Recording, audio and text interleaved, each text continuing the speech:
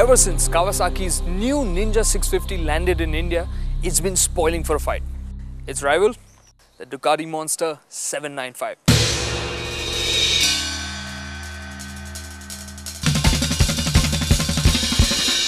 We've got both the motorcycles lined up here to find us the answer to the question whether the Japanese's sensible nature can overpower the Italian's passion.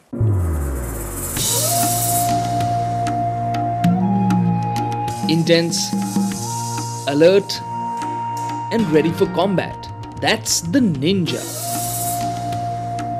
It's all emphasized by the ragged lines of the headlamp, the channels and vents on the fairing.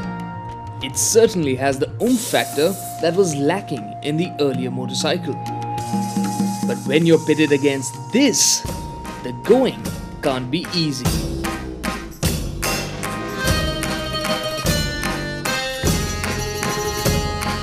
The Monster uses its minimalist design to create a cocktail of emotions.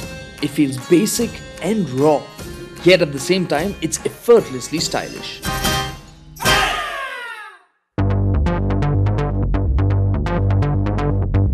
But in terms of character, these two motorcycles are a bit different. The Monster is a street naked, while the Ninja is more of a sport tourer. As a result, the Ninja boasts of a full-size windscreen with 3-stage adjustment. It also has a nice analog and digital display. It has a big stepped saddle that's got ample width for the pillion. The Monster also has a stepped seat, but the pillion doesn't get grab handles. Come to think of it, there isn't much of a pillion seat either. There's no deflector to protect the rider as he crouches over the tank. But it makes up for all that it lacks in charisma. Now the Ninja 650 is very stylish, but when you're pegged against an Italian icon in terms of design, like the Monster, the going can't be easy. This thing really has a raw, brutal aura around it. And that kind of even extends to the performance side of it because the Ducati does seem to have an advantage on paper.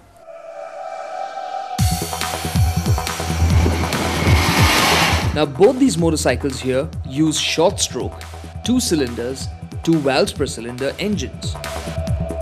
The Kawasaki uses a 649cc liquid cooled parallel twin, while the Ducati uses a bigger 803cc air and oil cooled L twin. Dual overhead camshafts power the Ninja's head, while the Monster exercises Ducati's Desmodromic system. Now, the most thrilling part about a big motorcycle is the performance on tap. The Ducati has a big advantage over the Kawasaki as its 187 kilograms of curb weight is a lot lighter than the 211 kilograms of the Kawasaki. The Monster's motor also punches out a much healthier 87 bhp and its rumble from the two exhaust cans just gets tastier as the revs rise. If you let the revs cross the 4000 rpm mark, the Ducati will thrill you no end. In comparison, the Ninja sounds meeker and its displacement of 649cc and 71 bhp of power are simply smaller. But in a straight line, when accelerating from standstill, sure the Ducati is faster. But at the 100 km mark, the Kawasaki does a superb job to stay within 2 tenths of a second of the Ducati.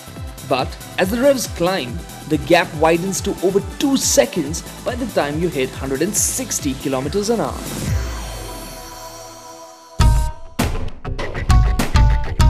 Both motorcycles have easy to use clutches and gearboxes. One grouse on the Ninja though was that the gear lever was a bit short, so changing gears required that the foot be placed a bit forward. That aside, the Ninja is the more practical motorcycle for daily use. Its parallel twin engine offers a very linear power delivery which is really responsive at low speeds in the city.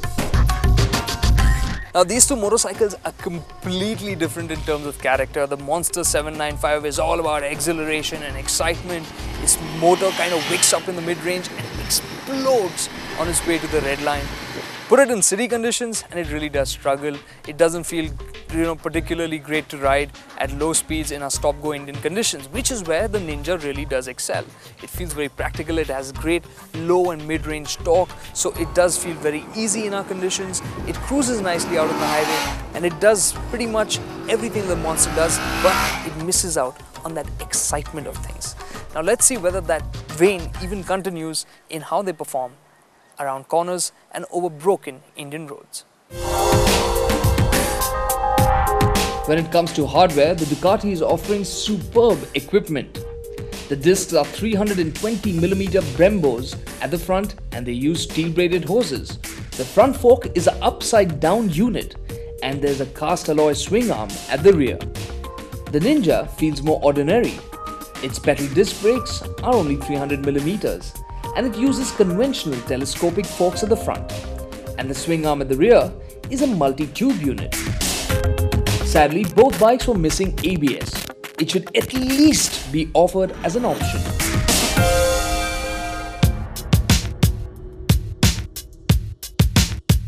On the road, the bite from Ducati's dual Brembo disc brakes feels sharp and immediate. The steel braided hoses give a crisp feel at the levers too. The bite from Ninja's Tokico petal discs seems a bit dull and lazy in comparison. But in the braking test, the Ninja performed very well, holding its own against the Monster. With its sporty seating position and upside down forks, the Monster promises to be the more involving motorcycle to ride. It is a hoot, but when you attack corners, it doesn't teem with confidence. There is a slight knifey edge to its dynamics. The Kawasaki in comparison feels more sedate, but its fluid style of cornering is fun and it will let you wind your way around a set of twisties pretty quickly. On the open road, the Ducati has the legs over the Kawasaki, but with nothing to protect you from the wind, sustained triple digit speeds won't be all that comfortable. The seating position is also very sporty and it takes a toll on your back and wrists. The Ninja meanwhile has a 3-stage wind deflector to keep the blast off your face and shoulders. And the more upright seating position, well, it's definitely easy on your wrists and more comfortable for the long haul.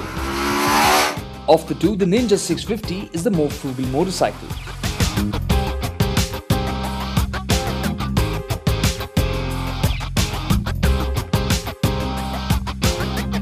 Bajaj's far-flung pro biking service network also offers you greater peace of mind when you think about it from the ownership experience point of view.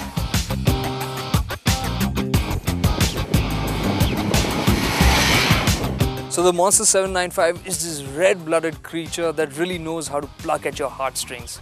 I mean, when it comes to dynamics, it just feels sportier than the Ninja. It's so tightly packaged, it has this sporty setup, and its brakes really offer this phenomenal bite. I would have liked more grip from the rear tires, but you know, the power from that L-twin motor, 803cc, with you know, a lot more power on tap than the Ninja, just overpowers it so easily.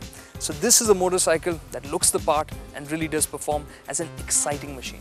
But the Ninja counters all of that by offering you huge doses of practicality. It's a motorcycle that you can spend riding all day, cover huge amounts of kilometers, even with a pillion on board. It's got a wide seat, it's got grab rails, its suspension setup is such that you'll feel comfortable on it. Riding position is also that way, and the engine character just makes it so flexible. And well, little else to fault on this motorcycle. Another big advantage in its favor is its price tag. It's over a lakh cheaper than the Ducati Monster 795.